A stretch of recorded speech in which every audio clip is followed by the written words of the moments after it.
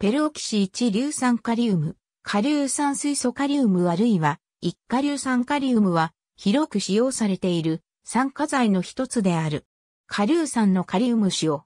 下硫酸水素カリウムは強力な酸化剤であるが不安定で取り扱いが難しい。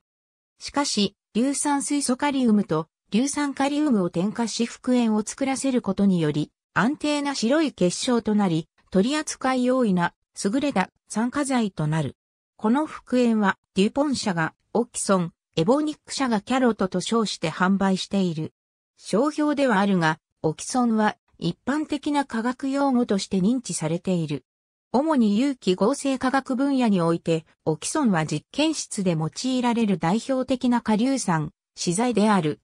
主な用途はオレフィンからエポキシドへ、第三級アミンからアミンオキシドへ、アルデヒドからカルボン酸へ、スルフィドからスルホンへの酸化などが挙げられる。水アセトンの混合溶媒にオキソンを懸濁させ、基質となるオレフィンを加えるだけで容易にエポキシドへの酸化が起こる。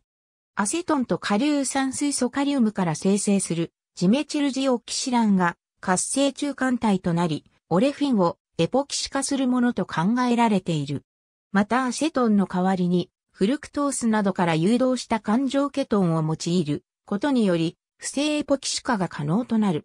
詳しくは、死不正エポキシ化の項目を参照。二ヨード安息鉱酸をオキソンで酸化することにより、二ヨードキシ安息鉱酸が得られる。